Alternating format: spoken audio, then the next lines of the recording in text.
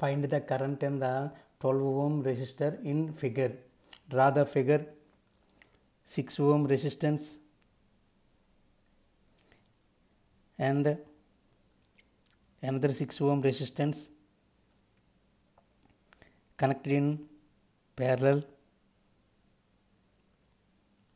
And the parallel circuit is connected into the 3 ohm resistance in series this is the upper part of the circuit.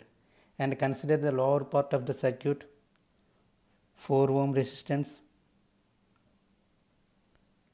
And 12 ohm resistance connected into the parallel. This is the 12 ohm resistance. Both are in connected into the parallel. The parallel circuit connected into the 2 ohm resistance in series upper and lower circuits are connected into the parallel to each other. Both are connected into the parallel. And the parallel circuit connected into the 3 ohm resistance in series. This is the 3 ohm resistance in series. The circuit connected into the 18 volts battery. The circuit connected into the 18 volts battery. This is the 18 volts. Let us take the current through the circuit is i and consider the points. This is the point a and this is the point b and this is the point c. At at the circuit bc both are connected into the parallel to each other. So in the parallel circuit the current through the circuit is varies. So the current through the lower part is the i1 and the current through the upper part is the i2 and the 4 ohms and 12 ohms resistance are connected into the parallel. So in the parallel circuit the current is varies. So this is the i12 and this is the i11 first of all calculated the 6 ohms and another 6 ohms are connected into the parallel. So the equivalent resistance in the parallel circuit is let us take rp1 the reciprocal of the equivalent resistance in the parallel circuit is equal to the sum of the reciprocal of the individual resistance. So 1 by rp1 is equal to sum of the individual resistance. So 1 by 6 ohms plus 1 by 6 ohms. Rp1 is equal to 3 ohms resistance. And consider the 4 ohm resistance and 12 ohm resistance both are connected into the parallel. The equivalent resistance is rp2 1 by rp2 is equal to sum of the reciprocal of the individual resistance. So 1 by 4 ohms plus 1 by 12 ohms. Rp2 is equal to 3 ohms. This is the equivalent resistance in the parallel circuit. Let us draw the modified figure. This is the 3 ohms resistance. And this is the rp1 the value of the rp1 is connected into the series this is the rp1 this is the 3 ohms resistance. And the lower part of the circuit this is the rp2 this is the rp2 the value of the rp2 is the 3 ohms. And this connected into the 2 ohms resistance in series. This is the 2 ohms resistance. Both are in connected into the parallel. Both are in parallel the parallel circuit is connected into the 3 ohm resistance in series. This is the 3 ohms resistance. And the circuit is connected into the 18 volts battery. 18 volts battery. The current through the circuit is the i. This is the point a point b point c. This is the i1 this is the i2 3 ohm resistance and another 3 ohm resistance connected into the series. So the equivalent resistance in the series circuit is RS2 RS1. Let us take the equivalent resistance in series circuit in the upper part is the RS1. RS1 is equal to sum of the individual resistance. So 3 ohms plus 3 ohms. RS1 is equal to 6 ohms. And the lower part of the series circuit 3 ohms and 2 ohms are connected into the series. So the equivalent resistance is the rs2 rs2 is equal to sum of the individual resistance. So 3 ohms plus 2 ohms. Rs2 is equal to 5 ohms this is the equivalent resistance in the lower part of the series circuit. And modified the figure. This is the figure. First of all rs1 this is the rs1 this is the rs1 the value of the rs1 is the 6 ohms. This is the rs1 and connected into the lower part is the this is the rs2 the value of the rs2 is the 5 ohms both are connected into the parallel to each other and connect to the 3 ohm resistance in series. This is the 3 ohm resistance in series and connect to the battery. This is the 18 volts. The current through the circuit is the I and this is the point A, this is the point B, this is the point C. The current through the downward is the I1 the current through the upward is the I2 first of all the resistance RS1 and RS2 both are connected into the parallel. So the equivalent resistance is RP so the reciprocal of the equivalent resistance is 1 by RP is equal to sum of the individual resistance so 1 by 6 ohms plus 1 by 5 ohms. Rp is equal to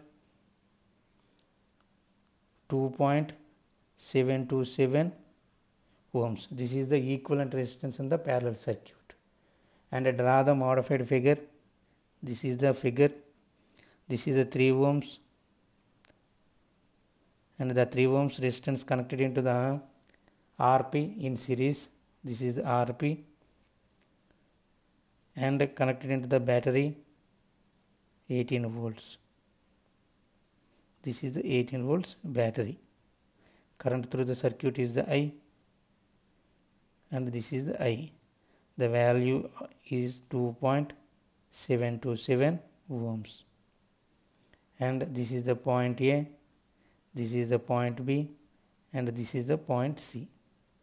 Let us consider the total or equivalent resistance in the circuit is R equal is equal to both are in series so sum of the individual resistance 3 ohms plus 2.727 ohms.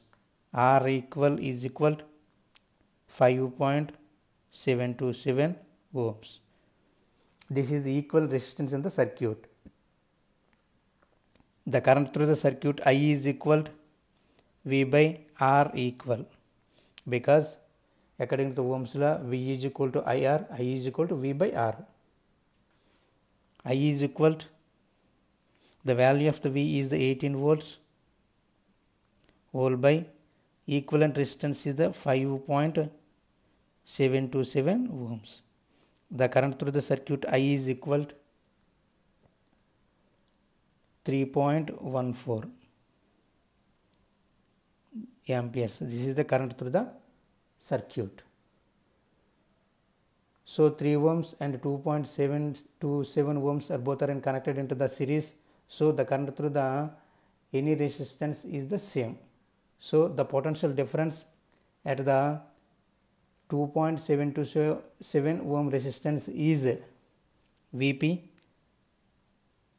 that is the Vp or the potential difference between the points BC is Vp is equal to the current through the circuit I into the resistance at that point is the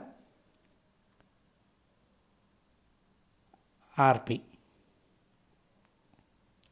So Vp is equal to 3.14 amperes into Rp is the 2.727 ohms. The total potential difference at the point between the BC is Vp is equal to 8.57 volts. This is the potential difference in the parallel circuit between the points BC. So, in the parallel circuit at any resistance the potential difference is the same.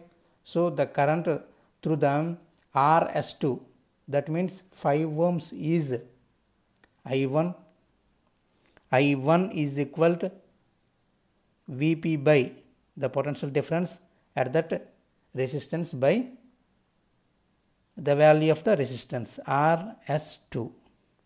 So, I1 is equal 8.57 volt volt by 5 ohms. This gives to the current through the I1. This is the I1.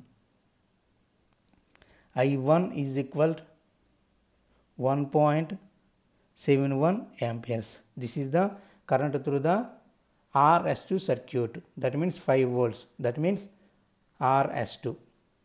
So, the current through the I1 is equal to 1.71. So, the potential difference at the 3 ohm resistance that means RP2 is Vp2 because the current through the circuit is the same because Rp2 and 2 ohms resistance are connected into the series in the series circuit the current is the same. So, Vp2 is equal to I1 into the resistance at the circuit is Rp2. So, Vp2 is equal to I1 is the 1.71 amperes into Rp2 is the 3 ohms. So, Vp2 is equal to 5.14 volts. This is the potential difference at the Rp2 that means 3 ohm resistance that means parallel circuit in the lower part of the circuit. So, this is the potential difference.